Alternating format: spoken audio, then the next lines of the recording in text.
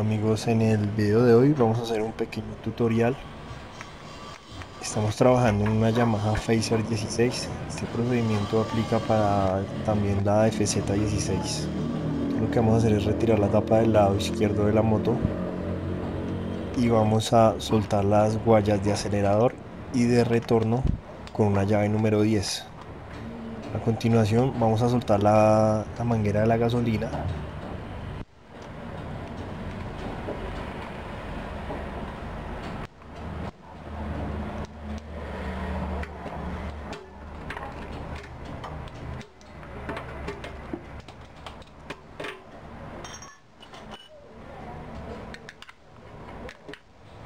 Una vez soltamos las dos guayas del, acelerador con una Bristol número 3, vamos a soltar la, la abrazadera del carburador, la que va en la parte de la conexión con la caja filtro y la abrazadera de adelante que va conectada a la, a la entrada de la culata.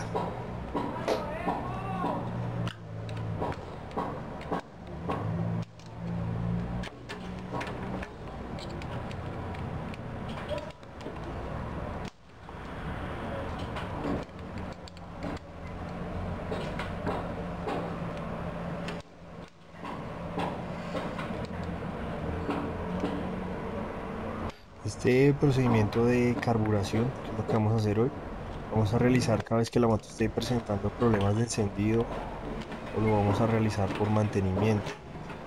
Una vez hemos soltado eh, las dos abrazaderas, retiramos el carburador. Entonces eh, vamos a desconectar la, el sensor del TPS, que está por el lado de atrás del carburador. Retiramos la manguera del drenaje y la del respiradero, la del vacío que se encuentra por el lado de la caja filtro. Y con una llave número 12 vamos a, retirar el cable del choque.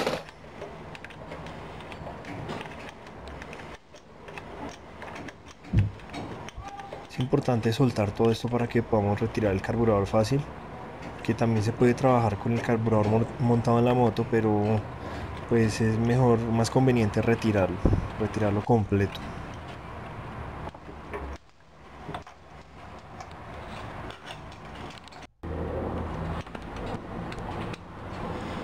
Entonces una vez tenemos nuestro, nuestro carburador a la mano,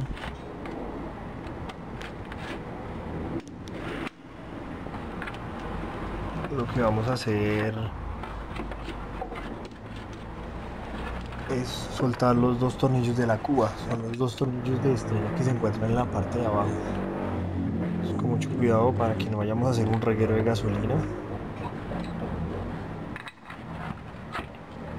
Entonces una vez retiramos la cuba, ya tenemos acceso a la parte de adentro del carburador.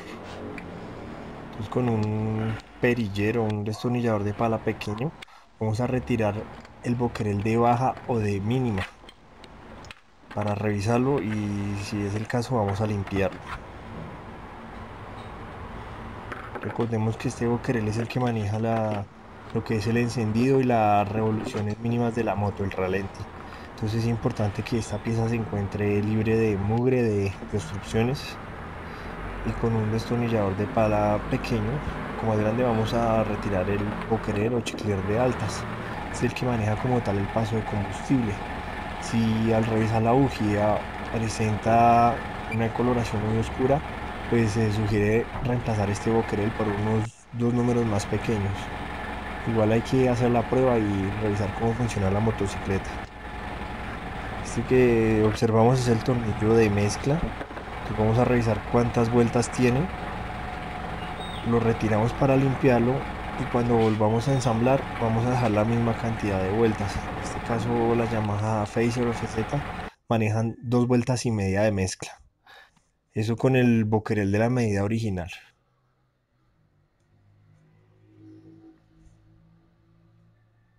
vamos a aplicar un limpiador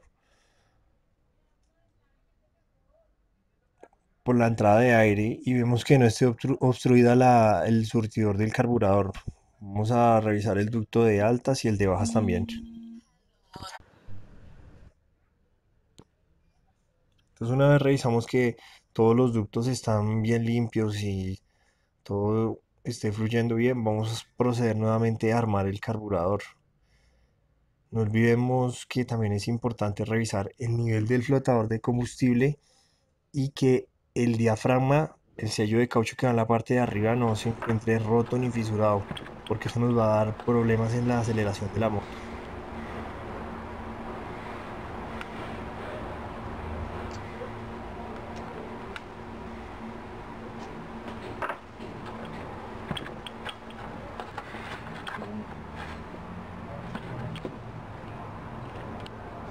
una vez hemos limpiado todas las piezas bien vamos a instalar nuevamente la cuba y seguimos con nuestro proceso de carburación.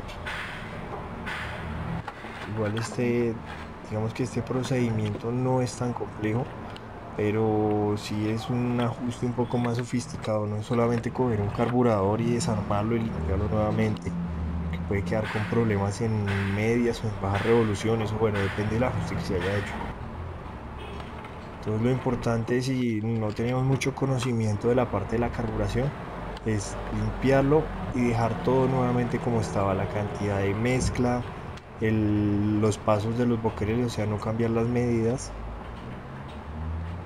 y el nivel del flotador. Ahora procedemos a, instalarlo nuevamente, el procedimiento de desensable pero a la inversa. Entonces vamos a instalar el cable del choque, vamos a instalar nuevamente el carburador en las, las conexiones y a instalar las guayas y probar cómo queda funcionando